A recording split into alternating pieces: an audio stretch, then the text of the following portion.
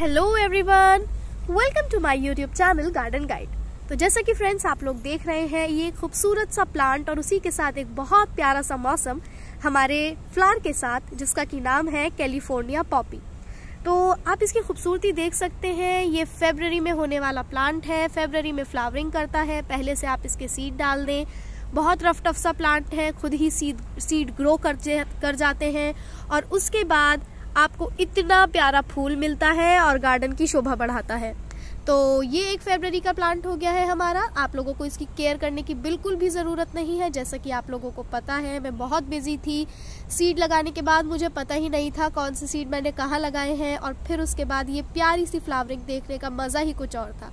तो ये हो गया है। आज हम आपको दिखाएँगे फेबररी में होने वाले फ्लावर्स तो बने रहिए वीडियो में हमारे साथ। नेक्स्ट प्लांट जो हमारा आता है, वो है हमारा sunflower sunflower tall sunflower miniature भी होता है, जिसे कि आप विंटर्स के लास्ट में लगा सकते हैं। लेकिन सनफ्लावर टॉल एक ऐसा प्लांट है जो आपको समर में भी प्लांट्स फ्लावरिंग देगा, और विंटर में आप अगर इसे लगाएँगे तो पहले से ही इसकी फ्लावरिंग शुरू हो जाती है। लेकिन सनफ्लावर टॉल को आपको सहारा देकर खड़ा करना पड़ेगा अदरवाइज़ ये कुछ ऐसा झुका हुआ खड़ा रहेगा क्योंकि फ्लावर का जो वज़न होता है, वो बहुत ज़्यादा होता है। और इसकी जो डंठल या फिर इसकी जो शाख होती है, वो बहुत ही ज़्यादा कमज़ोर होती है। तो उसको आपको एक सहारा देकर खड़ा करना पड़ेगा वाटरिंग अच्छे से करनी पड़ेगी और सनलाइट की ज़रूरत इसे बहुत ज़्यादा होती है। साथ ही साथ मैं आप लोगों को एक बहुत मेन टिप इसके बारे में देना चाहूँगी। आप मेरा ये वाला सनफ्लावर टॉल देख सकते हैं, इसके अंदर आप लोगों को दिख रहा होगा कि कली जुड़ी हुई है। अगर आप चाहते हैं कि आपका सनफ्लावर बड़ा हो तो आप इसकी पिंचिंग कर दें जिससे कि आपका जो फ्लावर है, उसका साइज़ बड़ा हो जाए। और नेक्स्ट फ्लावर हमारा, जो कि सदाबहार है, बहुत ही प्यारा है। अब तो मैं ये कहना चाहूँगी कि इसके जो फ्लावर्स की गिनती है कि कितनी बार ये आ चुके हैं, वो भी अनगिनत हो चुकी है। तो आप लोग देख सकते हैं कितना प्यारा ये प्लांट लग रहा है। बहुत ही खूबसूरती के साथ इस पर एक बार फिर से फ्लावर्स आने शुरू हो गए हैं। ये है हमारा येलो टिकोमा और ये चिड़िए भी अपनी आवाज़ आप लोगों को सुनाना चाहती हैं तो सुनिए आप इनकी भी आवाज़। उसके बाद हमारा ये ब्यूटीफुल सा प्लांट आ जाता है, जिसकी रिपोर्टिंग करते हुए भी मैंने आप लोगों को वीडियो बनाकर दिखाई थी।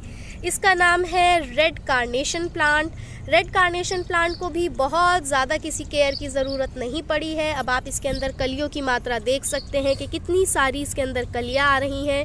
ये देखिए कितनी खूबसूरती से ये प्लांट साइड में रखा हुआ है, छोटे से पॉट में लगाया है। आप लोग चाहें तो बास्केट प्लांट की तरह भी यूज़ कर सकते हैं। वाटरिंग इसको मिनिमल चाहिए और अगर आप धूप में रखेंगे तो फ्लावरिंग ज़्यादा होगी।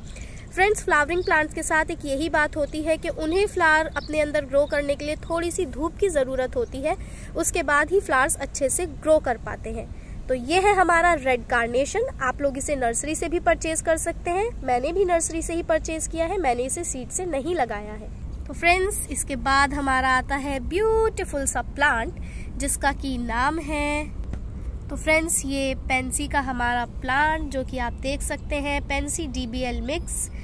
Friends last year इसके सीड्स डाले थे, गर्मियों में चले गए थे और सर्दियों में दोबारा से आकर ग्रो करने लगे हैं। और बहुत ही इसी से आपको पता चल जाएगा कि एक बार ही सीड डालने पड़ेंगे, उसके बाद ये खुद ही ग्रो कर जाएगा। लेकिन आपको इसका वाटरिंग लेवल वाटर बहुत अच्छे से कर वाटरिंग बहुत अच्छे से करनी है इसके अंदर। और हो सके तो थोड़ी सी खाद भी डाल दीजिएगा। जैसा कि इसके पास मेरा रोज़ का प्लांट है तो उसके अंदर चाय की पत्ती डलती रहती है, जिसके कारण इसको भी थोड़ा सा न्यूट्रिशन मिल जाता है और ये अच्छे से ग्रो करने लगता है। तो आप लोग देख सकते हैं, यहाँ पर भी मेरा ये पेंसी हो रहा है। ये स्मॉल है, pansy D B L mix जिसके कि मैंने फ्लिपकार्ट से सीट्स मंगाए थे। और बहुत सारी जगह पर ये हो रहा है, मैं आप लोगों को अभी दिखाती हूँ। ये है pansy D B L alyssum के साथ। आप लोगों का मोस्ट फेवरेट प्लांट मेरे चैनल पे जो रहा है, वो है अलाइसम जिसकी वीडियो आप लोगों ने बहुत पसंद की है। तो ये पेंसी डीबीएल मिक्स अलाइसम के साथ है। अलाइसम का पौधा, इस बार मुझे जो फ्लिपकार्ट से सीड्स आए थे, उसके अंदर अलाइसम के सीड्स नहीं थे। लास्ट ईयर जो सीड्स यहाँ पर गिर गए थे, उन्हीं से अलाइसम खुद से ग्रो होकर और प्यारे प्यारे फूलों के साथ आज हमारे यहाँ खड़ा हुआ है। तो आप लोग चैनल और फ्रेंड्स एक बार चैनल को सब्सक्राइब ज़रूर कीजिए और वीडियो को लाइक करना मत भूलिएगा। तो ये है हमारे कुछ फेबररी के प्लान्स अभी खत्म नहीं हुए हैं, और भी हैं। आगे चलते हैं। चलिए। तो फ्रेंड्स एक प्लांट हमारा आ जाता है ये, जो कि है ल्यूपिन पिक्सी ड्राफ जितना बड़ा इसका नाम है, उतना ही छोटा ये प्लांट है, उतनी ही कम केयर इसकी हुई है, और प्लांट इतना ज़्यादा खूबसूरत है। अगर आप इसे पॉट में लगाते हैं और बास्केट में लगाते हैं तो बहुत ही ज़्यादा खूबसूरत लगता है।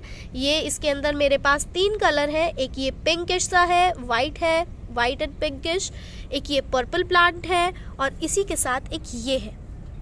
तो मैंने इसकी भी वीडियो आप लोगों को अपने चैनल पे प्रोवाइड कराई हुई है। अगर आप लोगों को देखना है कि सीड से कैसे ग्रो होता है तो चैनल मैं लिंक डिस्क्रिप्शन बॉक्स में दे दूँगी, आप लोग वहाँ से चेकआउट कर लीजिएगा।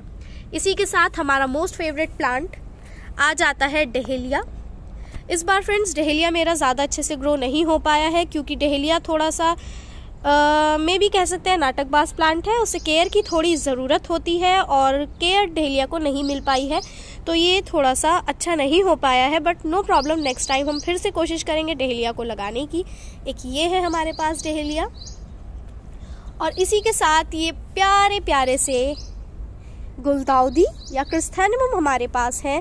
जैसे कि फ्रेंड्स आप लोगों को पता है, इससे पहले जो मेरे गार्डन में बाहर आई हुई थी, वो येलो फ्लावर्स की थी, लेकिन अब जो आई हुई है, वो है वाइट फ्लावर्स की और पिंक फ्लावर्स की।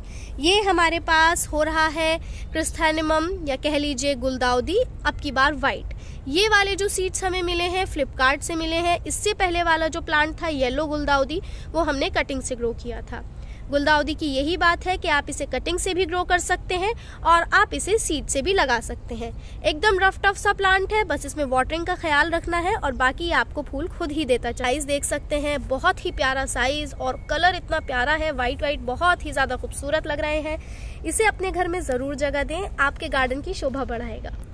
और फ्रेंड्स ये हमारा आज का सेकेंड लास्ट प्लांट जिसका नाम है कैलेंडुला कैलेंडुला एक बहुत ही प्यारा प्लांट है। आप जब इसे अपने घर में लगा देते हैं तो बस आपको क्या ख्याल रखना है कि इसको धूप मिलती रहे, क्योंकि ये धूप का प्यासा होता है। इसे धूप की बहुत ज़रूरत होती है, और धूप मिलने के बाद इसके जो फ्लावर्स हैं, वो बहुत ही खूबसूरत आते हैं। जब तक इस पर धूप नहीं पड़ेगी, ये पूरी तरीके से नहीं खुलेगा। इसे धूप बहुत ही ज़्यादा पसंद है, उसी के साथ खुलता है। क्योंकि आज मौसम थोड़ा सा कम धूप वाला है तो कैलेंडुला भी थोड़ा सा ही खुला है। तो चलिए, आज के लिए इतना ही। फिर मिलते हैं नई वीडियो के साथ। चैनल को लाइक शेयर और सब्सक्राइब करना ना भूलें। वीडियो को लाइक ज़रूर करें। Thank you so much bye bye